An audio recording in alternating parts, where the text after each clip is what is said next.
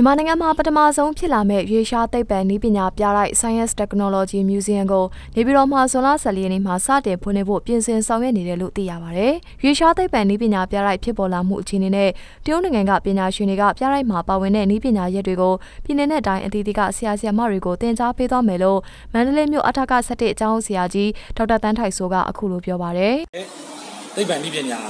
ဝန်ကြီးဌာနကျင်းပတဲ့ Science and Technology Museum ပေါ့နော် အဲ့ဒီအဖွဲ့ကြီးကကျွန်တော်တို့ကသဘောတူညီချက်ရခဲ့အဲကျွန်တော်တို့နိုင်ငံကိုဒီသိပ္ပံနဲ့နည်းပညာရွှေရှားရွှေလျားပေါ့ရွှေလျားပြလိုက်ပြီးမယ်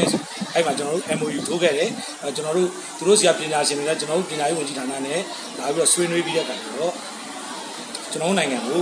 ဒီပြလိုက်ပစ္စည်းတွေပေါ့နော်အဲ့တော့ကျွန်တော်တို့ဒီ2018ခု ကျွန်တော်တို့မေအကုန်လောက်မှာကျွန်တော်ရောက်လာပြီဖြစ်ပါတယ်အဲ့တော့ဂျွန်8ရက်ကနေပြီးတော့73ရက်မှာကျွန်တော်တို့ရန်ကုန်မန်းလေးနေပြီးတော့မှရှိရဲရှာရှာမ30လောက်ကိုကျွန်တော်တို့ကတင်တန်းပေးမှာဖြစ်ပါတယ်14ရက်နေ့မှာကျွန်တော်တို့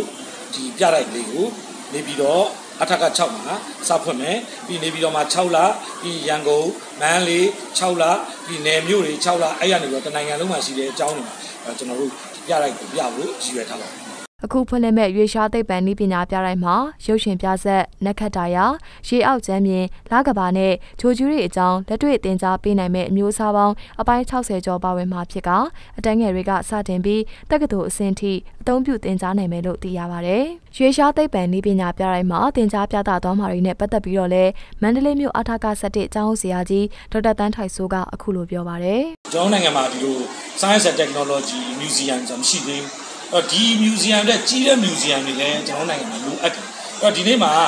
ကျွန်တော်တို့ကအာကာသနဲ့နက္ခတ္တရာအကြောင်းသိမယ်အာသမုဒ္ဒရာရေပြင်အောက်မှာရှိတဲ့ဒီတရဝါတွေအကြောင်းသိမယ်အဲကျွန်တော်တို့ဒီလာဇန်လာစုပ်ကဘာမြေကြီးလာနေကဘာမြေကြီးအကြောင်းတွေသိမယ်ဆိုသင်္ကန်းသားတွေမှာသင်တာဘူးကလေးတွေကိုကျွန်တော်တို့လက်တွေ့ပြဖို့လုပ်ပါတယ်အဲကျွန်တော် museum တွေလိုတယ်ပေါ့နော်အဲ့တော့ဒီ museum လေးကကျွန်တော်တို့နိုင်ငံရဲ့ပညာရေးအတွက်လည်း တောင်းတနေရာကနေပြီးတော့ခရီးဥအစဖြစ်တ